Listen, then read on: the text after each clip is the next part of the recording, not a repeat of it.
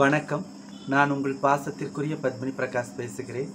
போன பதிவில் ஒரு திருநங்கையா காவல்துறையோட பணியாற்றிய அனுபவங்கள் அப்படின்னு சொல்லி நம்ம சைலேந்திர பாபு சார் கூட இருந்து போலீஸ் அட்வகசி ப்ரோக்ராம் அந்த நிகழ்ச்சியை பார்த்தோம் காவல்துறையில். இப்போ நாம் வந்து மருத்துவத்துறையில் பார்க்க போகிறோம் ஏன்னா இன்னைக்கு ஜூலை ஒன்று தேசிய மருத்துவர் தினம் இன்னைக்கு. அதை பார்க்கறதுக்கு முன்னாடி நம்ம திருநங்கைகள் சமூகத்தினர் கொரோனா தடுப்பூசியை போட்டுக்க சொல்லி வேண்டுகோள் விடுத்திருக்கிறாங்க. அதை பார்க்கலாம். அதுக்கப்புறமா நம்ம தேசிய மருத்துவர் தினம் திருநங்கை மருத்துவர்களை பற்றி விரிவாக பார்க்கலாம். வாங்க வீடியோக்குள்ளே போகலாம். அனைவருக்கும் வணக்கம். நாங்கள் கோயம்புத்தூர் மாவட்டத்தில் இருக்கிற திருநங்கைகள். இப்போ பார்த்தீங்கன்னா நாங்கள் எல்லாருமே கொரோனா தடுப்பூசி போட்டுட்டோம். நாங்கள் போட்டு இப்போ ஒரு வாரம் பத்து நாள் ஆயிடுச்சு.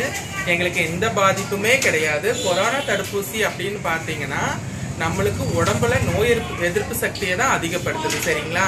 அதனால யாருமே பயப்பட வேண்டாம். இப்போ எங்கள் பெரியவங்க போட்டிருக்காங்க எல்லாருமே போட்டிருக்கிறோம். எல்லாருமே சில பல சுகர் பேஷண்ட் அந்த மாதிரி இருந்தவங்க எல்லாருமே தைரியமாக முன் வந்து அந்த தடுப்பூசி போட்டுக்கிட்டாங்க. அதனால யாருமே பயப்படாதீங்க. கொரோனா தடுப்பூசிங்கிறது வந்து உயிர்கொல்லி எல்லாம் கிடையாது. நம்மளுக்கான தடுப்பூசி தான். நம்ம ஓய் உடம்புல வந்து நோய் எதிர்ப்பு சக்தி வந்து அதிகமாக நம்மளுக்கு கொடுக்குது சரிங்களா? அதனால யாருமே பயந்துக்க வேண்டாம். தைரியமாக எல்லாருமே போடுங்க. இளம் திருநங்கைகள் நிறைய பேர் போட்டிருக்காங்க. கோயம்புத்தூருக்குள்ளே வந்து எத்தனையோ திருநங்கைகள் வந்து முன் வந்து நான் போட்டுக்கிறேன் அப்படின்னு சொல்லிட்டு கோவிஷீல்டு கோவேக்சின் இந்த மாதிரி ஊசி எல்லாமே நிறைய பேர் போட்டிருக்கிறாங்க. யாருக்கும் எந்த பாதிப்பும் கிடையாது. எல்லாம் நல்லா இருக்கிறாங்க.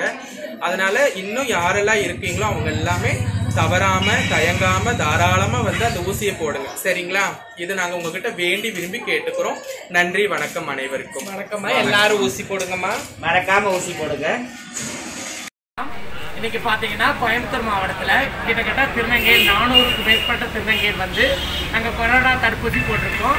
இதில் வந்து இப்போ பாதி பேர் வந்து கோவிஷீல்டும் பாதி பேர் கோவேக்சினும் போட்டிருக்கோம். கோவேக்சின் போட்டவங்களுக்கு ஒரு மாத கால இடைவெளி அடுத்த டோஸ் போடணும்னு சொல்லியிருக்காங்க. கோவிஷீல்டு போட்டவங்க வந்து மூன்று மாத கால இடைவெளியில் அடுத்த டோஸ் போட்டுட்டு இருக்காங்க. நாங்கள் எல்லோரும் போட்டிருக்கோம். நாங்கள் ஆரோக்கியமாக இருக்கிறோம். யாரும் பயப்படாதீங்க. இந்த கொரோனா தடுப்பூசி மட்டுமே மூன்றாவது ஆலையிலிருந்தும் நம்மளை காப்பதற்கு ஒரு வழியாக இருக்கும். தயவு செஞ்சு அனைவரும் தடுப்பூசி போடுங்க. இன்னைக்கு வந்துட்டு திருநங்கை அடையாள கொடுக்கறதுக்காக நாங்கள் எல்லாரும் வந்திருக்கோம். திருநங்கை வந்து கோயம்புத்தூரில் எட்நூறு நபர்களுக்கு மேலே இருக்காங்க. கிட்டத்தட்ட இன்றைக்கி நானூறு பேர்த்துக்கு திருநங்கை அடையாள அட்டை கொடுத்து முடித்து மீதம் இருக்கிற திருநங்கைகளுக்கு திருநங்கை அடையாள அட்டை வழங்குறதுக்காக நாங்கள் இங்கெல்லாம் வந்திருக்கிறோமா இருந்தாலும் எல்லாருமே வந்து திருநங்கைகள் அனைத்து பேரும் வந்து கோயம்புத்தூரில் தடுப்பூசி போட்டுக்கணும்னு நாங்கள் முக்கியமாக வேண்டி விரும்பி கேட்டுக்கிறோம். ஏன்னா தடுப்பூசி தான் இப்போ உயிர் இருக்குது எல்லாத்துக்குமே.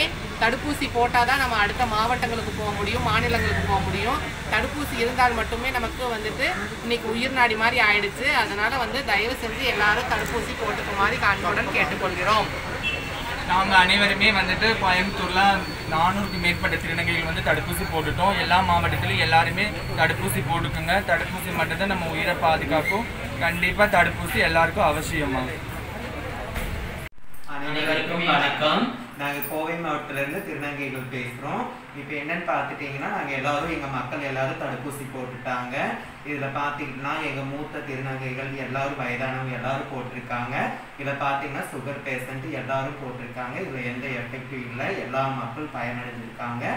எல்லாத்தையும் பணிவுடன் கேட்டுக்கிறோம். எல்லா மக்கள் போட்டு நல்லபடியாக இது தடுப்பூசி கொரோனா தடுப்பூசி போட்டுக்கணும் கேட்டுக்கொள்கிறோம். ரொம்ப நன்றி. என் திருநங்கை தோழிகளுக்கும் சகோதரிகளுக்கும் மிக்க நன்றி. ரொம்ப அழகாக வந்து எடுத்து வச்சிருக்கீங்க பொதுமக்களுக்கு. உண்மையிலே இதுவரைக்கும் தடுப்பூசி போட்டுக்கொள்ளாதவர்கள் தயவு செஞ்சு போய் போட்டுக்கோங்க. கொரோனாவை ஒழிப்போம் மனித சமூகத்தை காப்போம்னு சொல்லி அஹ், எனக்குமே மருத்துவத்துறையில் பணியாற்றிய அஹ், இரண்டாயிரத்தி பதினொன்றுலேருந்து பதிமூன்று வரைக்கும் பணியாற்றக்கூடிய வாய்ப்பு கிடைச்சது மருத்துவத்துறையில்.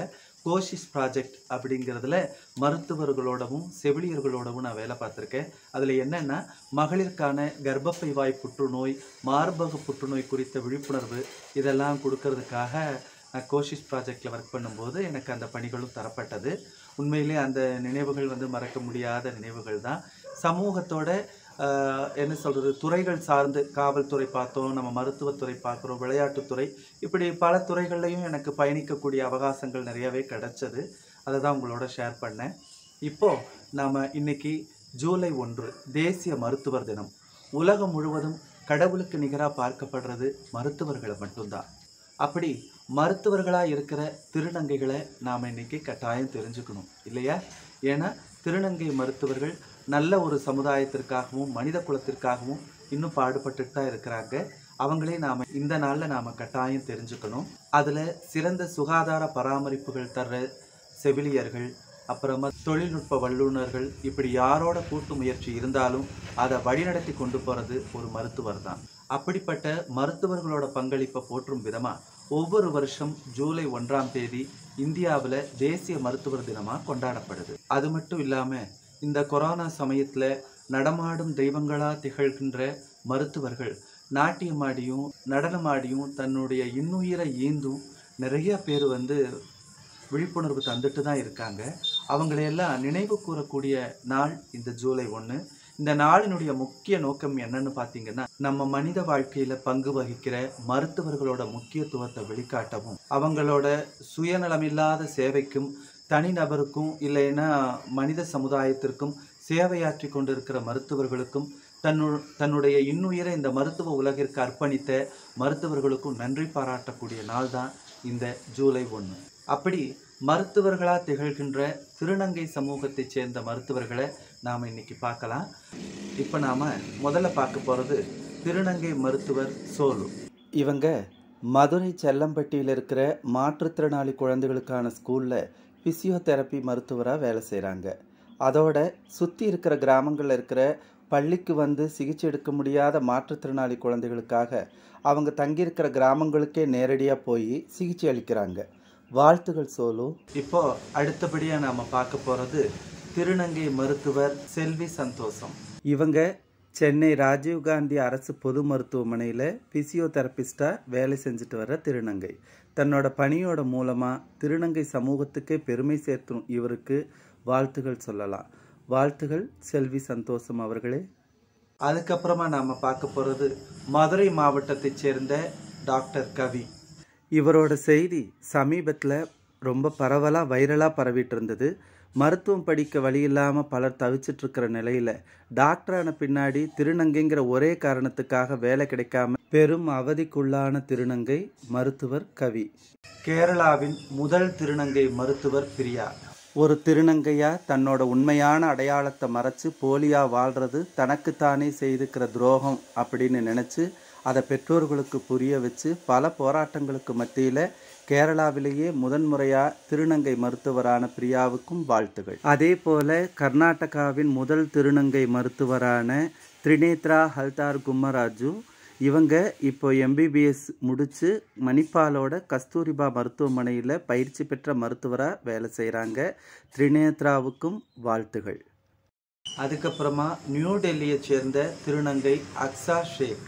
நம்ம சுதந்திர இந்தியாவில் கோவிட் தடுப்பூசி மையத்திற்கு தலைமை தாங்கிய ஒரே மருத்துவர் திருநங்கை மருத்துவர் இந்த அக்ஸா ஷேக் அப்படிங்கிறவங்க தான். அவங்களுக்கும் வாழ்த்துகள் அடுத்து மணிப்பூரைச் சேர்ந்த திருநங்கை மருத்துவர் பியான்சி லைஸ்ராம் மணிப்பூர் மாநிலத்திலேயே முதல் திருநங்கை மருத்துவர் அப்படிங்கிற சிறப்பு இவங்களுக்கு இருக்குது அது மட்டும் இல்லாமல் மணிப்பூர் மாநிலம் இம்பாலில் தனியார் மருத்துவமனையில் மருத்துவராக வேலை பார்க்குறாங்க. பியான்சிக்கும் வாழ்த்துகள். வடகிழக்கு மாநிலங்கள்லையும் முதல் திருநங்கை மருத்துவர் இவங்க தான் இப்படி மனித குலம் நலமுடன் வாழ இந்த திருநங்கை மருத்துவர்கள் இந்த செயலை பாராட்டி அவங்கள மனதார நாம் இங்கிருந்தே வாழ்த்துவோம். ஏன்னா மருத்துவர்களுடைய இந்த சேவை நாட்டிற்கு தேவை. இந்த மாதிரி மருத்துவர்களால் தான் ஏன்னா மருத்துவத்தில் மட்டும்தான் ஆண் பெண்ணுங்கிற அந்த பாலின பேதங்கள் கிடையாது. அங்கே ஒரு உயிர் தான் முக்கியம். அந்த அளவுக்கு மருத்துவ சேவையாற்றிட்டு வர இந்த திருநங்கைகளை மனதார நாம் பாராட்டணும். இந்த திருநங்கை மருத்துவர்களை பற்றிய விரிவான தகவலை நீங்கள் தெரிஞ்சுக்கணும் அப்படின்னா டிஸ்கிரிப்ஷன் பாக்ஸில் லிங்க் கொடுத்துருக்கேன். மறக்காமல் போய் பாருங்கள் அது மட்டும் இல்லாமல் இன்னும் திருநங்கை மாணவிகள் கல்வி பயின்று கொண்டிருக்கிறார்கள்.